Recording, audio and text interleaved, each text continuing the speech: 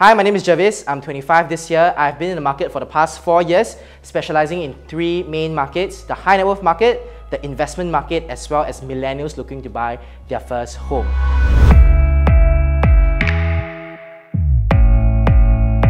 I'm also the founder of JNA Real Estate and I'm really thankful that last year I managed to achieve the Youngest Millionaire Award as well as the Youngest Champion Team Manager Award.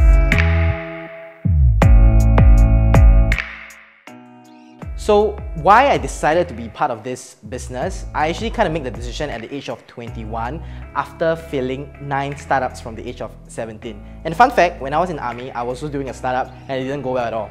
So at the age of 21, when I was, before I was entering into school, I was asking myself, in order for me to pay off my school loans, that was like $48,000 in total, it's either I work part-time every single month with $1,000 to earn every month, or I try out a self-employed, a sales job. So at the age of 21, I decided to try and have a taste of what real estate is like and in the first month of my business, I still remember very fondly. I made zero in sales, you know, similarly to what happened in 2020.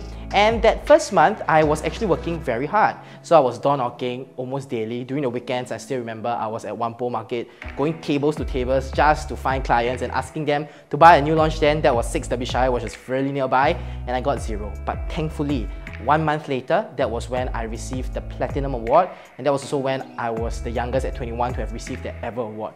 And it was surreal, as surreal as this Millionaire Award as well. All I recall was that I worked really hard then, and currently, I'm still a student in Singapore Management University, studying both law as well as business management, majoring in real estate finance. Managing both school and work is definitely not easy. Still remember there were so many all-nighters that I have to pull in order to finish my exams as well as do some of the deals that I'm so passionate about. I decided to adopt that full-time mentality at the age of 22 when some of my associates first joined me and I never looked back ever since.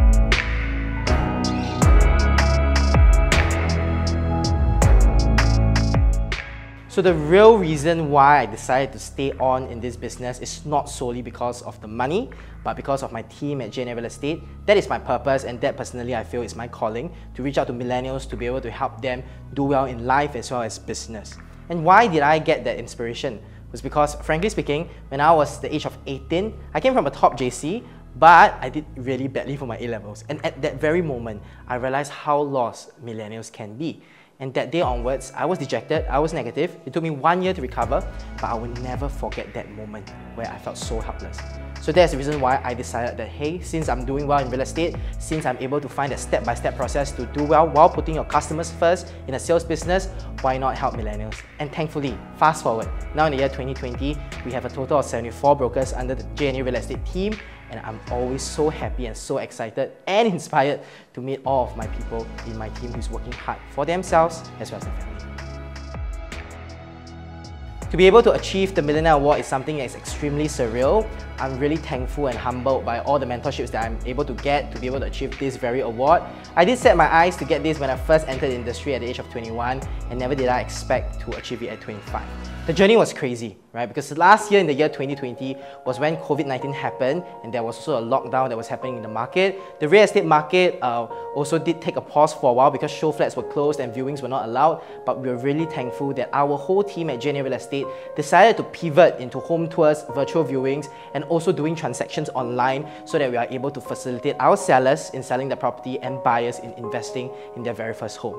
And I think with the accumulation of the transactions that I have done last year because of all of these clients that we managed to touch, that's the reason why I managed to achieve my Millionaire Award. The year 2020, I've closed and transacted almost $80 million in transaction volume and close to 40 transactions. And most of them are from the high net worth market as well as the investments market. And I still record last year, uh, it was really crazy because the first three months, uh, I made zero in terms of sales commission. And the next nine months, I actually managed to pull through, work really hard. I think I've gotten a total of uh, five platinum awards as well as three super platinum awards to be able to achieve uh, the Millionaire Award uh, in the year 2020. It was a tough journey, it wasn't easy, but I'm really thankful that I had a lot of people who were standing by me, giving me the guidance, the support, both in PropNex as well in, in my personal life, who's pushing me to achieve that award by the end of 2020. For those who are watching this, I only have one thing for you, and that is do first and think later. You see, the market is evolving rapidly every single day and you have to adapt. If not, you will not stay relevant. If you're afraid to do a video, just gotta press the record button, do umpteen times, fail umpteen times, because you know what? There's never a perfect content, right? Just document your process. Don't focus on curating that perfect content for yourself because that's gonna waste you a lot of time. If you want to be a millionaire, remember this. I am 25 when I received my Millionaire Award. I believe that you can do it. I have confidence that you can do it. You are never too young to achieve massive success, and it's never too late to leave a legacy.